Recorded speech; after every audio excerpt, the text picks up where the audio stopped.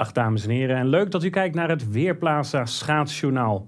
Er wordt op dit moment in Nederland al op sommige plaatsen geschaatst. De beelden achter mij zijn genomen vanmorgen vroeg bij het Leersumse veld. De zon die was net op en we zien toch wel dat er al diverse schaatsers aanwezig zijn. Een ijslaagje van, nou pak een beet, een centimetertje of vijf onder het motto: Het kan allemaal nog maar net. Het levert natuurlijk wel hele mooie beelden op. Beelden waar we als schaatsliefhebber natuurlijk op zitten te wachten. Dit waterpartijtje is vrij ondiep. We zien hier zelfs nog de tekenen van de droogte. Want door het droge zomerseizoen is het water hier veel lager dan dat je normaal in deze tijd zou verwachten. De schaatsruimte is wat dat betreft ook wat beperkt. Maar als je hier door het ijs zakt, dan kom je niet veel verder dan je enkels in het water te staan. Relatief veilige plek, zelfs met een centimetertje of vijf aan schaatsijs. Maar goed, degene die nog zitten te wachten op wat dikker ijs, daar heb ik misschien toch wel goed nieuws voor. Alhoewel, van plek tot plek zal het wel heel erg verschillen.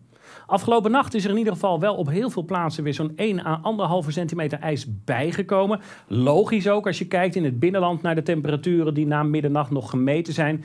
Min 6 tot plaatselijk afgerond min 10 graden. Ja, dan gaat de ijsaangroei behoorlijk snel.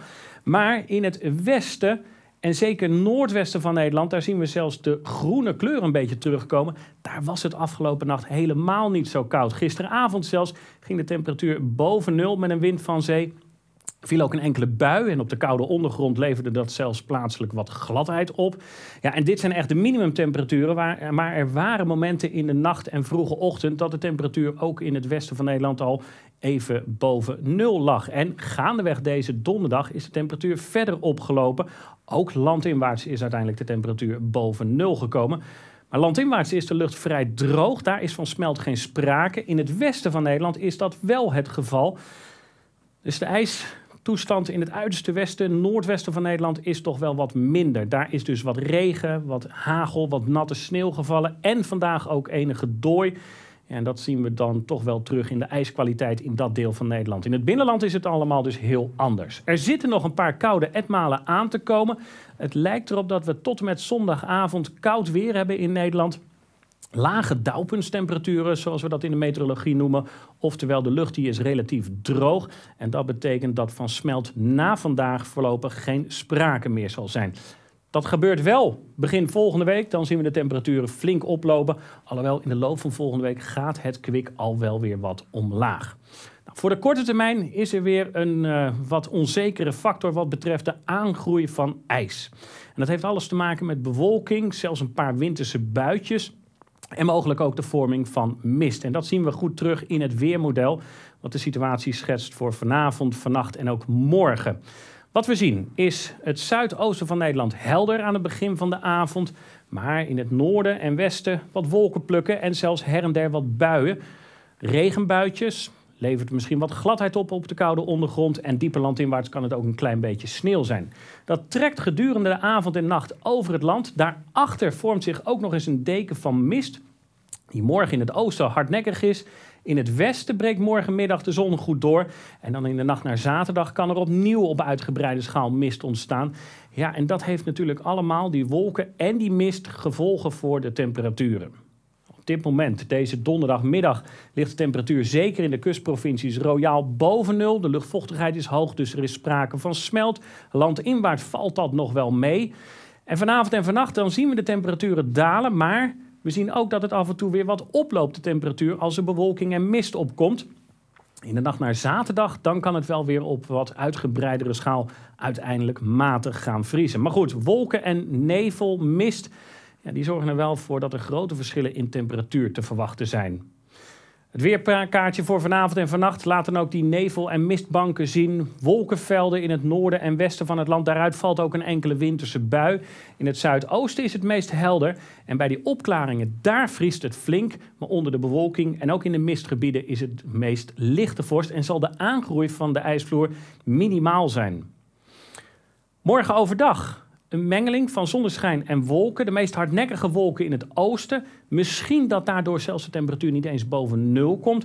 In het westen van Nederland lukt dat wel met een winterzonnetje. Maar de lucht die aangevoerd wordt is wel weer wat droger. Dus ik denk niet dat er morgenmiddag water op het ijs in het uiterste westen en noordwesten van Nederland staat.